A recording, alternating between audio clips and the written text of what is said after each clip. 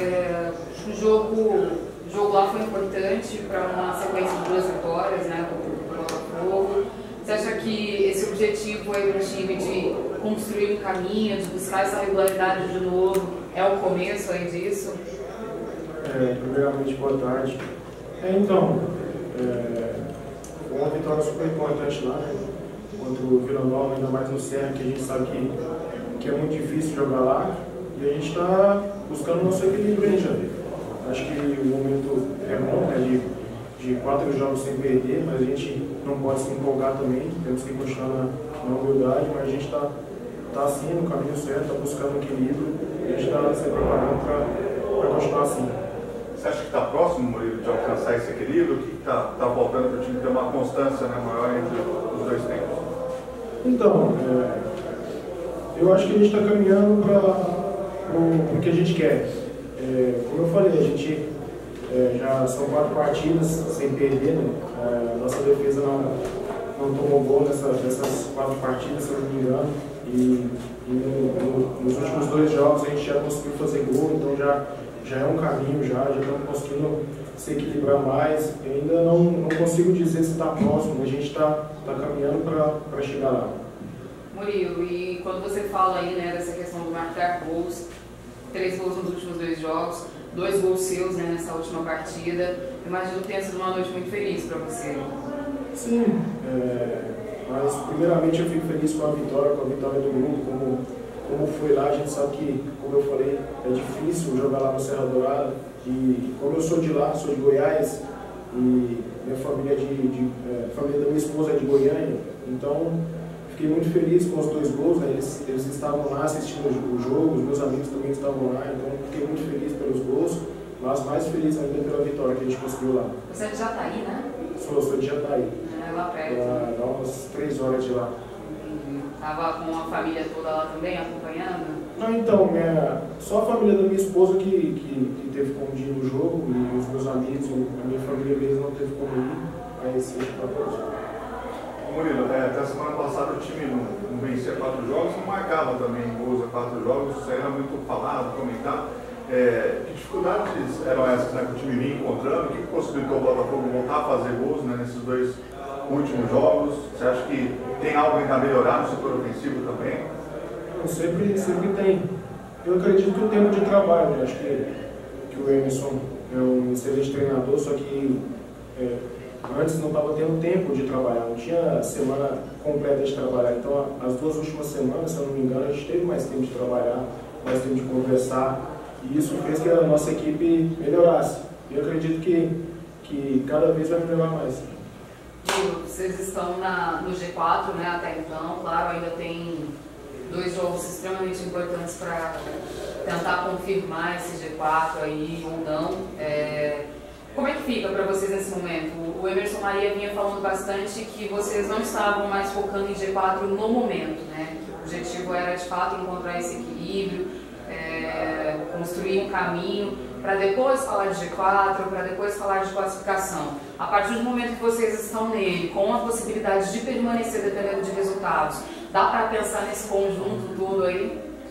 Sim, é, o, a nossa vontade é de estar no G4 sempre, mas a gente tem que ir por partes, é, pensar jogo a jogo.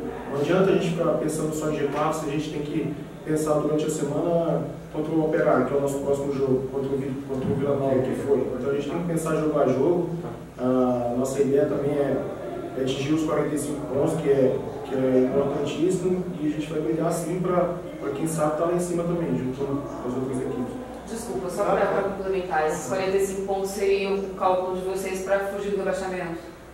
É, o, o pensamento nosso assim, é o, os 45 pontos é onde pode sim se fugir do rebaixamento. Então a gente está lutando é, jogo a jogo, tentando fazer o máximo de pontos. Né? A gente sabe que a gente está próximo do G4 ali, mas a gente primeiramente vai tentar fugir do. atingir os 45. Né? É, você falou esse lance de pés no chão, né? não, não vender muita ilusão também para o torcedor, o Botafogo vem uma, uma recuperação do campeonato. É, mas você acha que o Botafogo assim, dá para passar alguma expectativa que o Botafogo é um time de G4 realmente, um time que está reabilitado, que vai buscar o acesso, tem condições para isso? Então, o, o, nosso elenco é, é forte, nosso, a diretoria deixa a gente bem respaldado, né, com, com salário em dia, é, bicho em dia, a gente tem totais condições de brigar sim pelo G4. E a gente vai brigar sim, não é que, que a gente não, não quer estar no G4, a gente quer estar sim, mas primeiramente a gente tem que pensar parte a parte, é, jogo a jogo, é, atingir os 45, atingir os 45 já dá mais uma, mais uma tranquilidade para a gente, para a gente chegar no final do campeonato, se Deus quiser, estar tá próximo do, do G4. Você citou o operário, é, é um confronto direto né, na próxima rodada ali posição para tentar se estabilizar. É um time que, que veio crescendo bastante, né, veio comendo pelas beiradas, na verdade, Sim. e de repente figurou ali em cima. Né? É, o que, que vocês já, já, já, viram aí desse operário, esperam do operário?